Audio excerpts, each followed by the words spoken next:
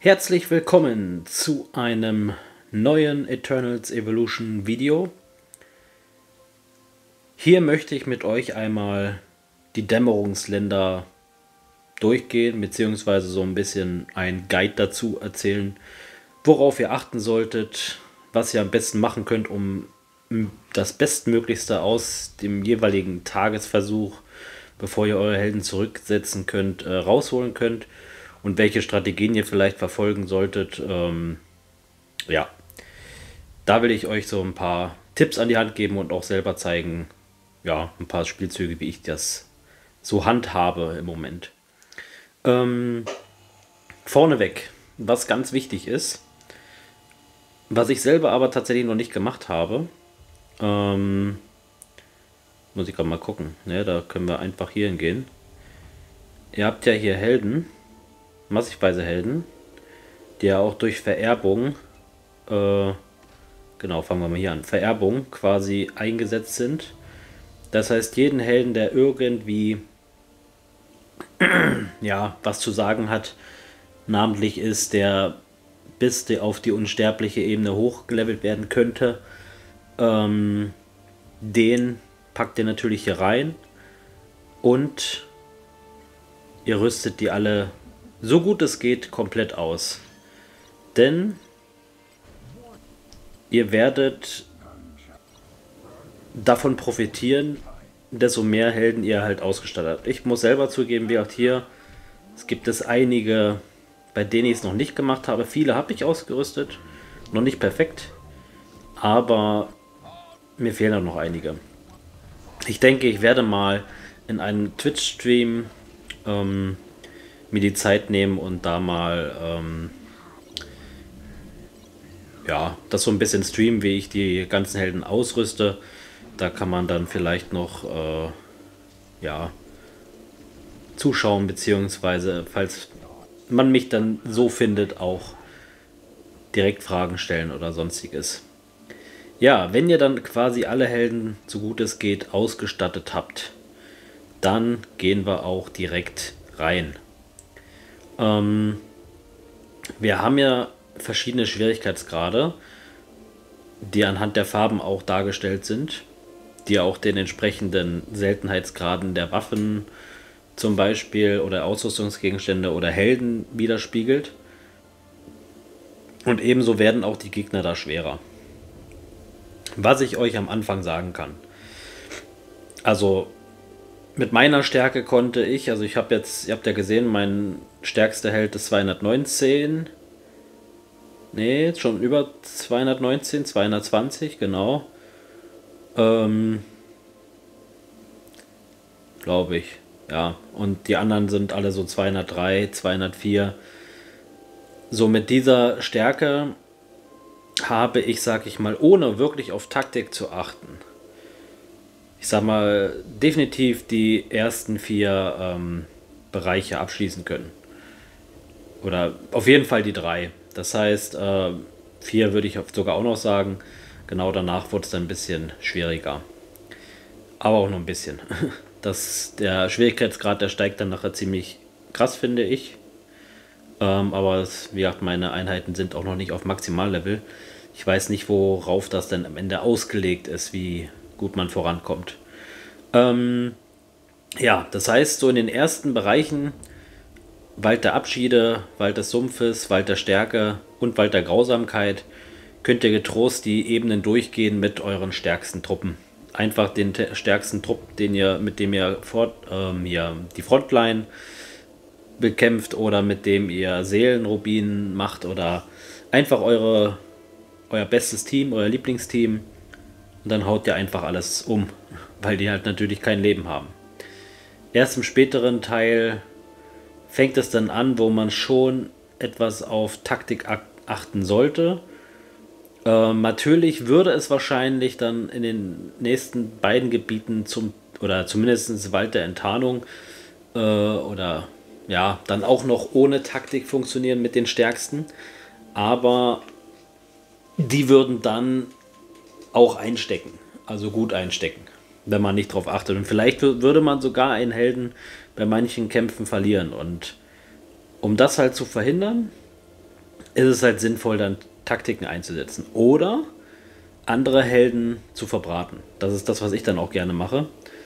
Ähm, gehen wir mal kurz rein. Also im Moment bin ich jetzt hier auf unserem Server bzw. unserem Bereich auf Rang 9. Beim letzten Mal war ich bei Rang 16. Das heißt, im Moment habe ich schon eine gute Steigerung und bin jetzt bei ähm, 8.2. Genau. Gucken wir dann mal rein. Wald der Gier bin ich jetzt gerade. Ich habe schon äh, mein Team einmal komplett resettet. Das heißt, es ist jetzt komplett vollständig. Und ja, sieben Leute haben hier diesen Run geschafft. Das heißt, auch ein weiterer Tipp, weiterer wichtiger Punkt ist, holt euch diese ähm, Macht des Herolds ab, bevor ihr die Ebene anfängt. Weil ihr dann natürlich ähm, ja 20% ähm, Schaden und äh, oder beziehungsweise reduzieren ja die Lebenspunkte und die äh, Schaden vom Gegner und das macht dann halt schon einiges aus. Das heißt, die, die natürlich schneller durchkommen, haben es schwieriger, aber für die, die nachrücken, ist es dann einfacher. Wir haben ja immer, ich habe das in dem Video, wo das Spiel ja, äh, wo dieser, dieses Event quasi rauskam, ja schon erwähnt. Man kann dann immer zwischen drei verschiedenen Aspekten aussuchen. Das heißt, ähm, es ist sinnvoll, sich die Gegner so auszusuchen, nach dem, wo man entweder denkt, wenn es schwieriger wird, dass man definitiv da länger überlebt oder halt die Einzelnen ausschaltet oder halt ein gutes, starkes Team dagegen hat. Hier zum Beispiel bräuchten wir halt Energie-Typen, weil die halt mehr gegen beschworene Einheiten ausrichten, weil der halt viele beschwört. Das heißt, hier brauchen wir AOE-Schaden und Energie. Ähm, Habe ich jetzt meine Erfahrung noch nicht so gut mitgemacht und meine AOE-Helden sind auch nicht so stark. Ähm, deswegen habe ich das jetzt nicht angesetzt. Das hier ist auch relativ, ja, schwierig, weil der stark ist. Wobei ich hätte den dadurch, dass es nur vier sind, vielleicht auch anfangen sollen. Aber der Strahl, der ist halt ziemlich heftig. Ich habe jetzt aber schon diesen Bereich angefangen, wie ihr hier sehen könnt. Ähm, und da ist die Generalverbindung halt wichtig, weil ja, der halt viel Schaden austeilt. Aber ähm, ich fange hier jetzt nicht mit meinem starken Team an, sondern ich nehme Helden, die, ja, ich sag mal so wie es ist, eher abkömmlich sind. Gut, den habe ich jetzt, äh, beziehungsweise die ich jetzt eh verbrate, weil ich quasi ähm, ja, einfach nur Schaden machen möchte, um die Gegner noch weiter zu schwächen. Und das werde ich jetzt mit Beschwörern machen, äh, weil ich relativ starke Beschwörer habe. Denke ich mir, ja, probieren wir es mal. Zwar haben wir die Generallistenverbindung nicht so hoch, aber wir können eventuell aufgrund des Schadens, den die vielleicht anrichten, ähm, schon den einen oder anderen ausschalten. So, Wichtig ist auch, vor allen Dingen im späteren Bereich, macht die automatischen Fähigkeiten raus. Äh, bei den meisten Helden. Weil es hier ist es dann nachher wichtig, wirklich punktgenau Einheiten auszuschalten, um es nach in späterem Verlauf oder in späteren Versuchen dann einfacher zu haben. Ähm, ich werde jetzt natürlich die reinnehmen, die ich jetzt nicht so steuern kann, weil die eh nicht so viel Schaden machen. Ähm, aber die, die ich steuern kann, vor allem die dann punktgenau zielen. Ähm,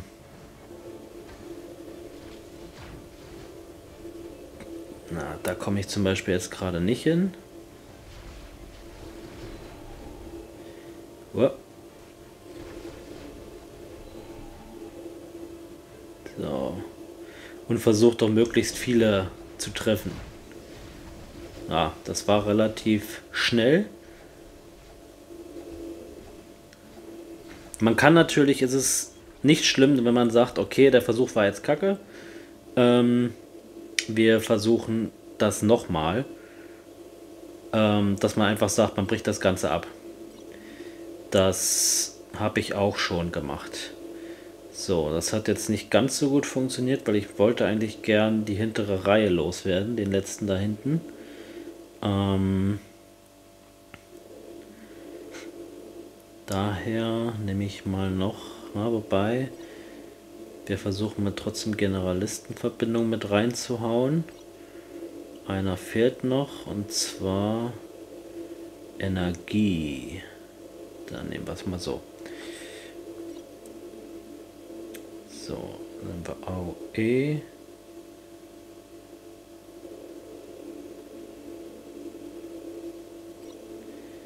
Ja, man sollte immer die Taktik anpassen. Ne, eine Energie zu viel. Äh, Energie zu viel. Wir haben Support, Energie. Scharfsitze wäre noch nicht schlecht. Ja, okay. Heiler nehmen wir jetzt so noch nicht ganz rein. So, hier nehmen wir auch alle raus.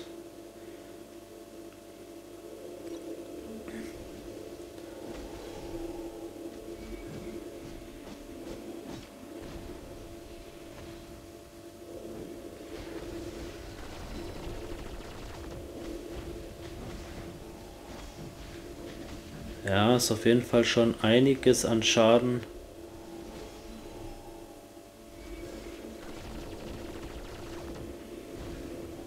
gemacht. Das heißt, ich kann an der Stelle natürlich mit meinem starken Team schon deutlich mehr ausrichten. Ähm, ich versuche es einfach mal. Vielleicht reicht das auch schon. Vielleicht hätte ich von vornherein auch mein starkes Team direkt nehmen können. Ähm,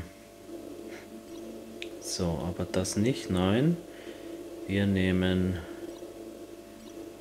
weil mein starkes Team besteht aus Emma, Bailey, Hudson, Cider.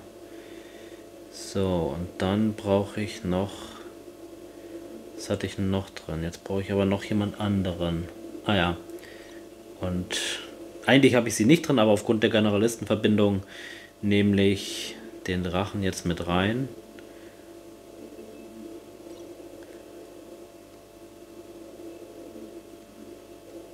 So, eigentlich nur kann sie...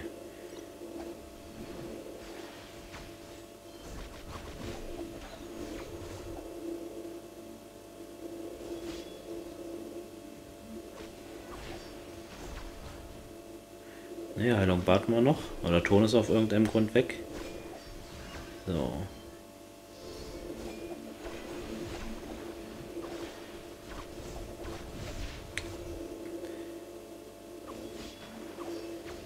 Sehr gut. Ah, das läuft.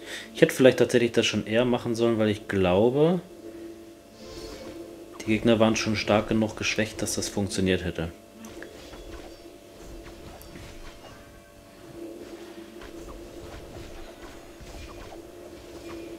Ja, damit haben wir es jetzt geschafft.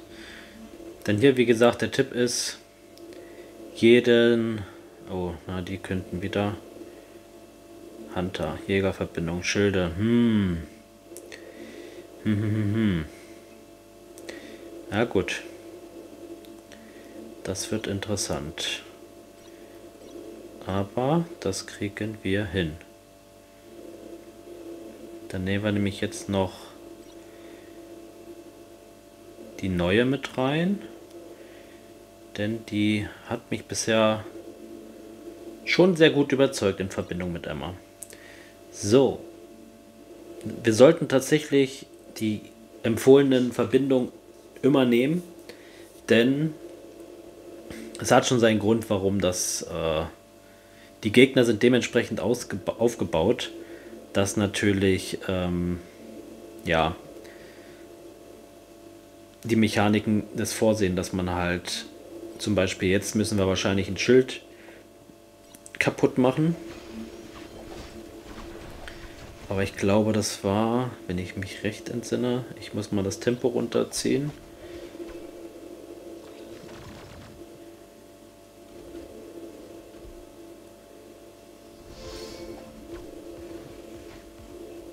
Ich überlege gerade nicht. Warte mal, ich muss noch mal kurz. Wichtig ist auch, das habe ich jetzt hier natürlich jetzt gerade tatsächlich nicht bedacht, einmal die Fähigkeiten durchzulesen. So. Hm.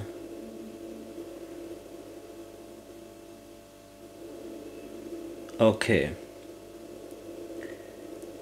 Der hat ein Schild, was wir runterhauen müssen. Daher die Verbindung. So. Dementsprechend, ja, bleiben wir dabei.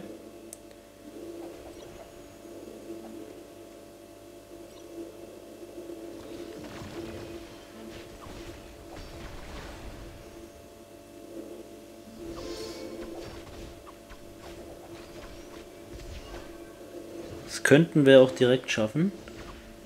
Mal gucken.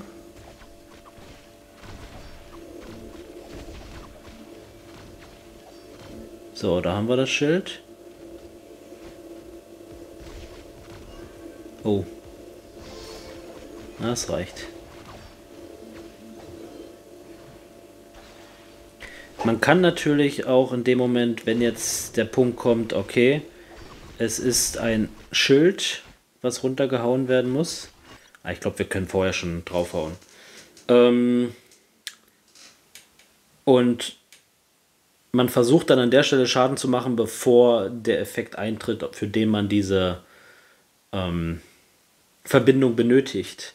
Es gibt zum Beispiel den Boss, der sich dann nachher in fünf oder in mehrere kleine Mobs aufteilt. Da gibt es dann die Möglichkeit, man macht entweder an allen Schaden. Dann gibt es die Möglichkeit, man macht nur an den einzelnen Mobs Schaden oder man kann im Vorfeld auf den großen halt schon Schaden anrichten und ähm, so ihn Stück für Stück runterhauen. So, jetzt versuchen wir mal hier uh, einfach mal Schaden zu machen.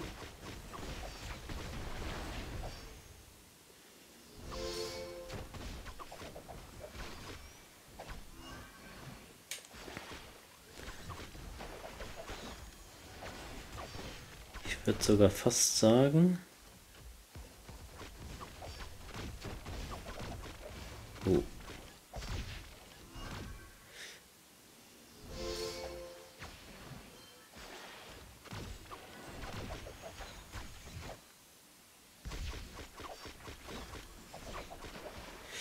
Ah, das ist. ich würde sogar fast sagen, dass zwei ausreichen und da würde ich eher lieber auf einen zweiten Heiler setzen.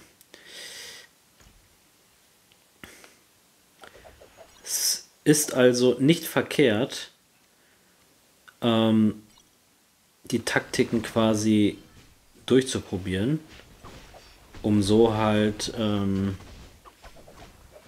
das Beste rauszuholen. Denn man verbraucht ja keine Versuche, kein Leben oder so, wenn man... Nee, das warten wir ab. Wenn wir quasi... Ähm ja, das reicht.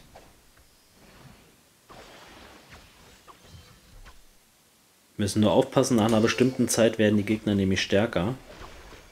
Oh.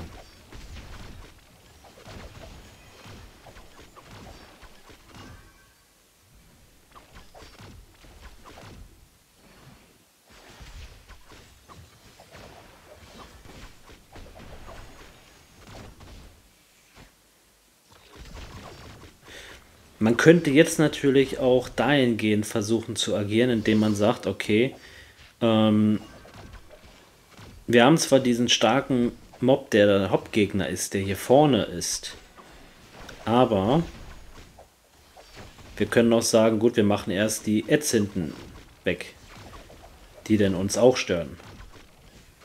So, jetzt wird es nämlich kritisch, weil uns alles wegstirbt. Aber, oh, oh. Ja, sehr gut. Es wird nicht ganz reichen, Emma wird sterben. Ja, und damit haben wir zumindest unser starkes Team weg. Aber der starke Gegner, um den es eigentlich geht, ist jetzt weg. Und das ist der Punkt, wohin man an der Stelle versuchen muss zu agieren. So, denn Gegner, die man tötet, die man Leben runtermacht, bleiben permanent tot. Dementsprechend können wir jetzt natürlich sagen, okay, wir hauen jetzt einfach mal oder versuchen einfach mal die Gegner umzuhauen. Nehmen dementsprechend die besten Kommandanten für den Versuch. Ja, die Runen, äh, die Prototypen steuere ich jetzt nicht um. Dadurch, dass wir jetzt hier kein, nicht wirklich auf irgendwas achten müssen, lasse ich die einfach machen. Noch ein bisschen schneller.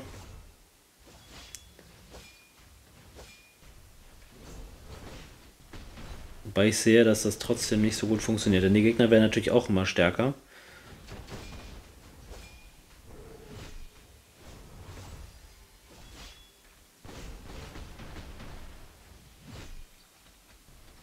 Das heißt, selbst die diese beiden Helden vor dem anderen tot zu machen, wäre wahrscheinlich gar nicht so einfach geworden.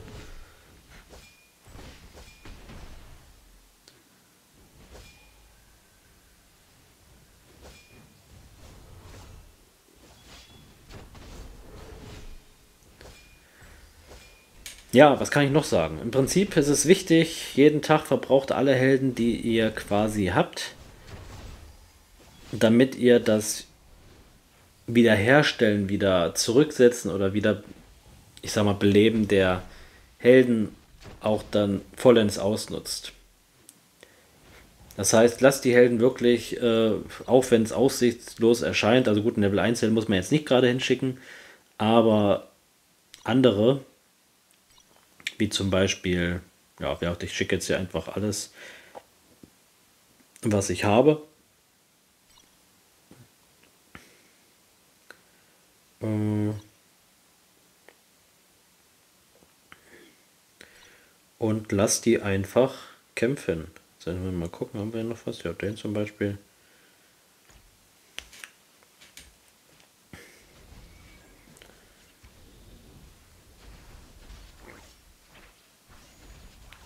Weil die machen zwar nicht viel Schaden, aber sie machen Schaden. Und jeder Schaden, der gemacht wird, sind weniger Lebenspunkte und irgendwann besiegt man dann doch vielleicht den einen oder anderen mit dem einen oder anderen Helden und deswegen ist es auch wichtig, wirklich jeden einzelnen Helden, den ihr besitzt, auszurüsten und auszustatten.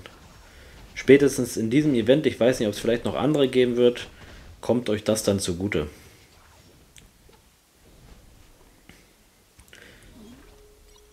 Denn so länger nämlich jeder einzelne Held überlebt, desto mehr, desto länger kann der auch Schaden machen an den einzelnen Bereichen. So, jetzt bin ich auch fast an dem Punkt. Ich hau jetzt hier einfach alles raus. Es ist egal. Und desto mehr Schaden dann an der Stelle halt ja entsteht, haben es dann nachher die richtig starken Helden, auf die ihr immer bauen könnt, dann nachher. Die haben es dann nachher einfacher. Und das ist der Punkt, weswegen es wichtig ist, halt nicht nur eure stärksten 10, 15 Helden zu nutzen, die zu verbraten und dann sagen, okay, jetzt setze ich das Team zurück. Nein, nutzt wirklich jeden verfügbaren Helden, der irgendwie ein bisschen Schaden macht. Ähm, jetzt habe ich so viele Tanks.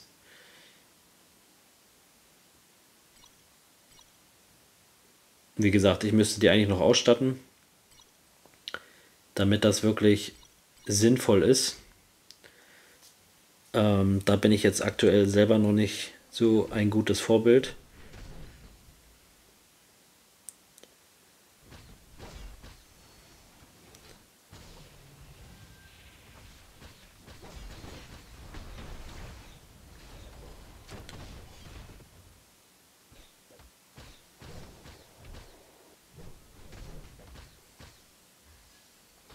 So. Na, ein bisschen Schaden machen wir.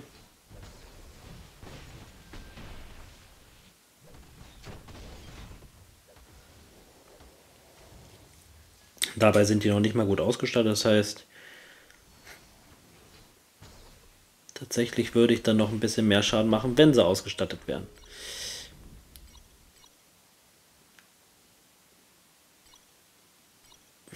So, was haben wir denn noch? Na, wirklich nicht mehr viel. Das und ihn. Ja, bei den Rest brauche ich nichts machen. Ich fordere trotzdem heraus.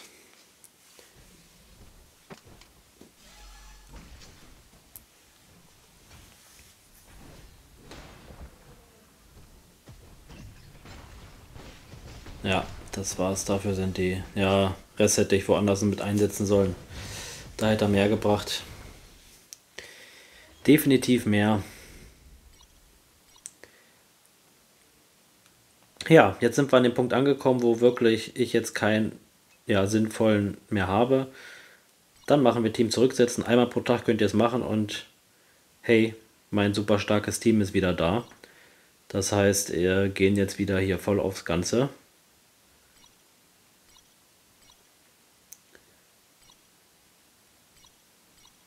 Äh, nehmen wir diesmal ihn noch mit rein und so und dann da werde ich jetzt auch nicht irgendwie automatisch machen, weil die im Prinzip eigentlich so gut wie tot sind und meine Einheiten eigentlich nichts verlieren sollten.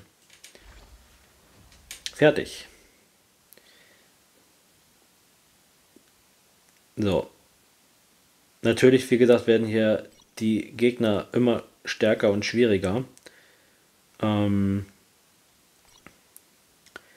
und dementsprechend ist es interessant, dann die richtigen rauszusuchen. Ja, aber das sollte es sollte ausreichen, um zu zeigen, worauf ihr hier achten sollt. Ansonsten ist es einfach, wenn man nicht irgendwann nicht mehr weiterkommt oder wirklich vor allem mein Boss vielleicht nicht vorankommt, oder es, keine Ahnung, vielleicht fünf Tage braucht, bis ihr den Boss weg habt, dann seid ihr halt einfach noch nicht stark genug. Ähm, beziehungsweise dann muss halt das Level kommen oder das, die ex exklusive Ausrüstung, um halt den Schaden zu erhöhen. Ähm, oder die Prototypen oder was auch immer. Hier im Wald der Gier war ich im vorigen Spiel noch nicht gewesen. Ich bin, habe gerade mal geschafft, den Drachen zu besiegen, oder ich glaube nicht mal. Ähm, Genau, den habe ich nämlich nicht mal geschafft. Da war ich bis zu ihm gekommen. Jetzt habe ich ihn besiegt, weil ich dann natürlich ein bisschen stärker geworden bin. Ich würde aber vermuten, dass ich vielleicht den Boss hier noch schaffen könnte, aber ich glaube spätestens beim nächsten würde ich dann wieder nicht vorwärts kommen. Gehe ich stark von aus. Vor allem sind nur noch sieben Tage, ja, mal gucken, wie weit wir kommen. Ja, das war's zu den Dämmerungsländern. Ähm, falls ich auf vielleicht diverse Sachen nicht genau eingegangen bin oder etwas vielleicht ausgelassen habe, fragt gerne in den Kommentaren nochmal nach. Ähm, dann kann ich da vielleicht im Text nochmal drauf eingehen. Aber ich denke, ich habe alles Wichtige gesagt, was notwendig ist, um gut voranzukommen in diesen Dämmerungsländern. Ansonsten ist es halt etwas, was ich über die Tage hin aufbaut. Am Anfang kommt man leichter durch und desto weiter man kommt, desto langsamer geht es voran, aber man muss halt dranbleiben und wirklich alles nutzen, was man hat. Ja, ich hoffe, die Tipps helfen euch vielleicht, dort weiterzukommen. Und in dem Sinne sage ich danke fürs Zuschauen und wir sehen uns dann beim nächsten Video. Ciao!